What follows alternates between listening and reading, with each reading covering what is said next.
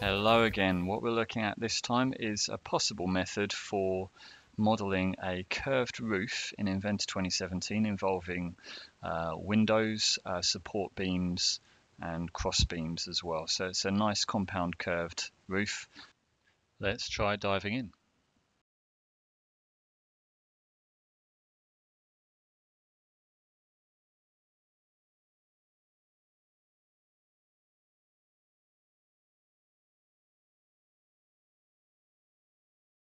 We're sketching a rectangle here first, and we used uh, parameters, uh, 14 meters by 10 meter roof that we're creating here. Those parameters will come in useful later on. And now we're going to use the freeform tools in Inventor 2016 onwards to sketch on top of this rectangle and create a freeform face here. And then we want to subdivide it. We want square subdivisions here. So um, we would want 14 by 10 squares, but the maximum you can do is 10.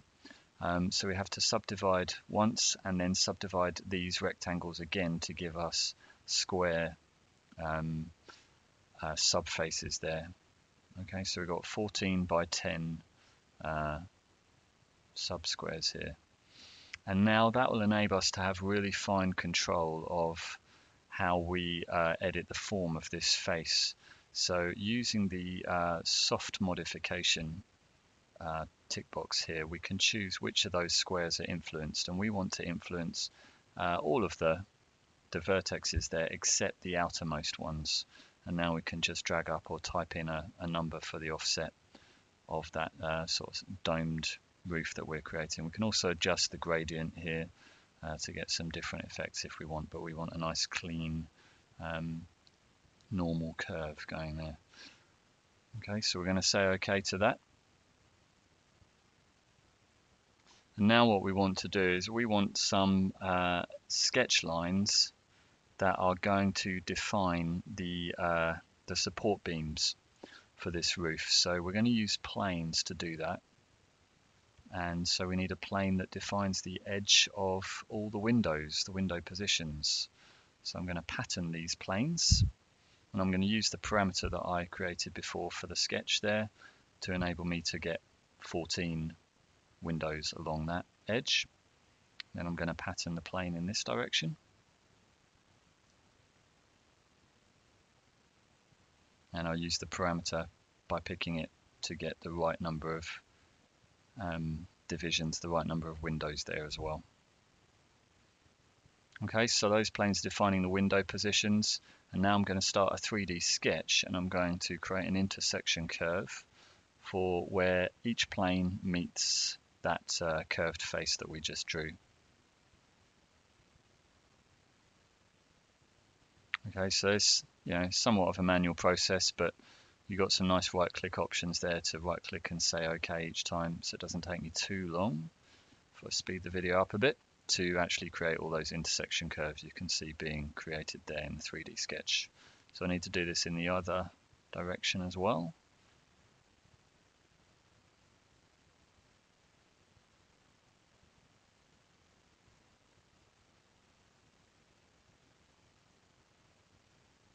Okay, so now if I uh, switch those planes off, I should be able to see the 3D sketch I've created, which will help me to define those um, support beams later on. So what I've got right now is a single curved surface and a 3D sketch containing all the intersection lines. But I need to do a bit more work here in my master part that I'm creating. I actually need to split that surface into the individual windows. So I'm going to use the planes to do that. And again, this is a somewhat of a manual operation. Couldn't think of a better way of doing it than this, but maybe you guys can. I'm going to use the split tool and I'm just going to pick the plane and then pick the face and then right click and say OK so it's just pick the plane um, and pick the face and right click and say OK or apply rather. So plane face right click apply. It takes me a bit of time to get into it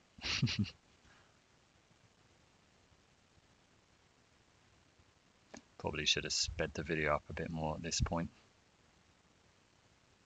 Ah, there we go.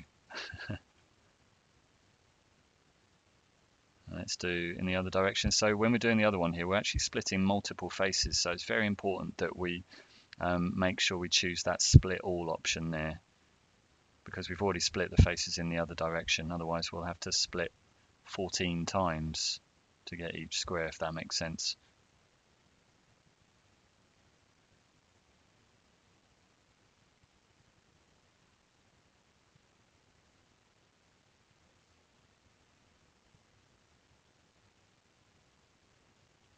Okay, so we've split that surface. If I just turn it back on, there's our um, individual faces defining the, the squares of the window. And now we are, we've got most of the information that we need in this master part to help actually create an assembly out of it. So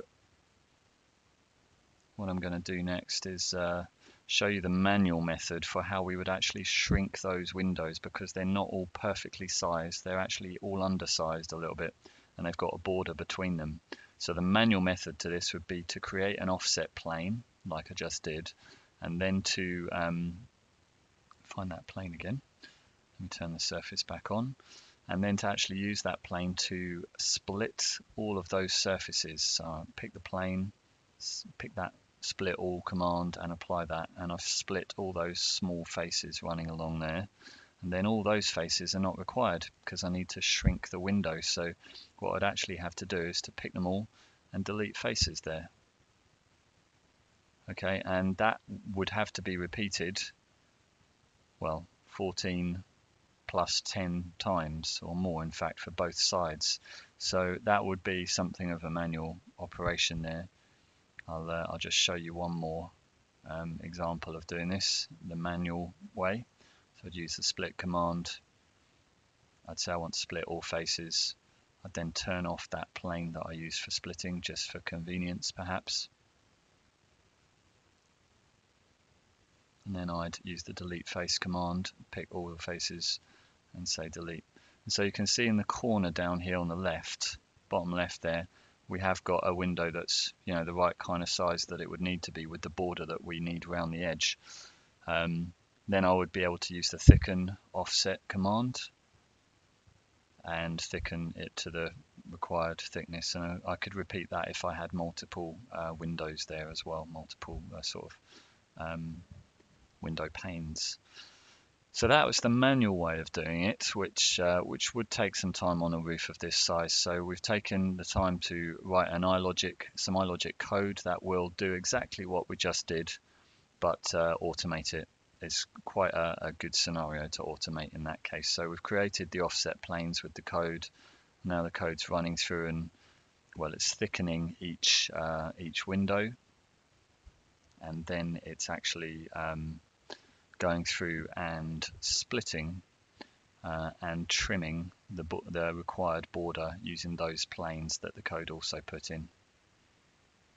Okay, so we put quite a big border on there, but uh, this definitely saves us a bit of time. If I turn off those uh, planes now, then we've got some shrunken windows with the required borders. Okay, so those windows should be a bit thicker, but uh, you get the idea for this, this uh, example model.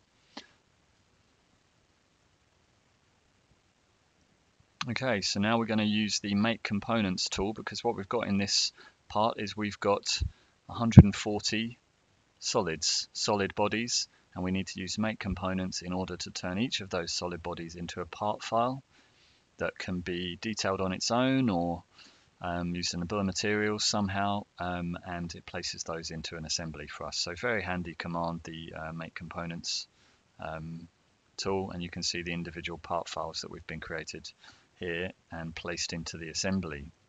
So now we're in the assembly. I also, um, I think, want to place the master part into this assembly once I've saved it. So um, I'm going to use the place command and I'm going to just place it grounded at the origin and uh, I'm just going to edit that in context of the assembly and turn on the stuff that I actually need to start creating these beams. Okay, so using the frame generator tool, I'm going to pick the 3D intersection lines in the 3D sketch that I created just a minute ago and I'm going to create an I-beam that runs along each of the longer um, longer lines here.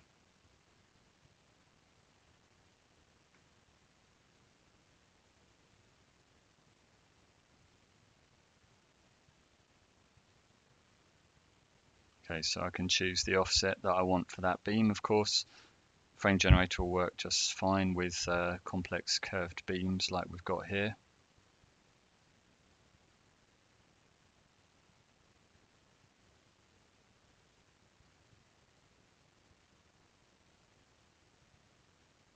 And I'll generate each of those curved beams.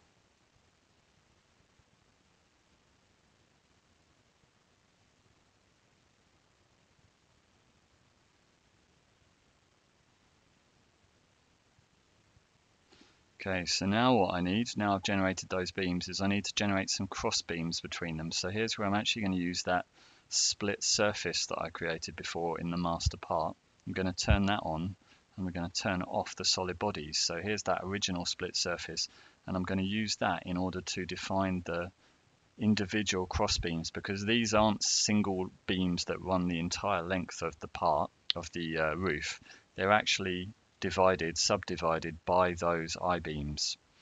So I need to turn the I-beams off and then later on I'm actually going to have to trim those beams to the I-beams. So let's uh, bring up the frame generator tool again.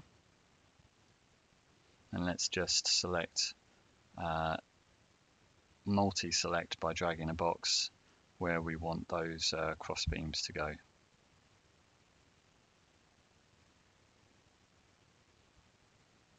Okay, so we're going to be generating, uh, my maths is going to fail me here, but uh, quite a lot of uh, sub-beams there. I guess it's 10 times 12 or something like that. Okay, and they're all individual part files, but what they're not at the moment is trimmed to the I-beams. So what we would need to do is to turn the I-beams back on and then we'd actually need to go in and this would be something of a manual process is actually trim multi multi trim those beams. You see there they don't actually uh, line up flush with the I-beams we'd actually have to pick um, all the beams we want to trim. So we can do a whole row of them all in one go.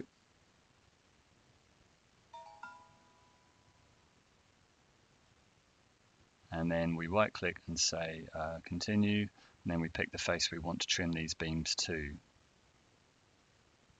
And then we right click and say apply. And that's a process we're going to have to repeat for, uh, for each end of each row of cross beams. Uh, you see I've trimmed this beam uh, in, in the wrong direction, so I'll have to uh, delete that one, uh, delete that trim and do it the correct way. I picked the wrong end of the beam there. Okay, that's correct. So I need to repeat that, as I said, um, for the entire roof. And here's the finished result.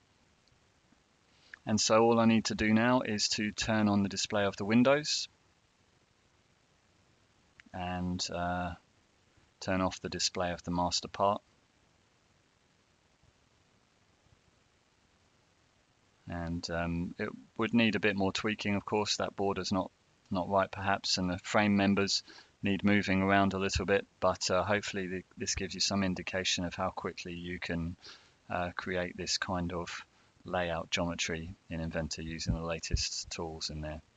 So I'm just uh, changing the, the color of the windows to something clear to look a little bit better.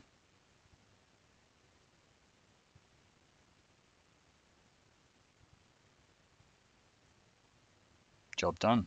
Hope you find this very useful. Thanks a lot.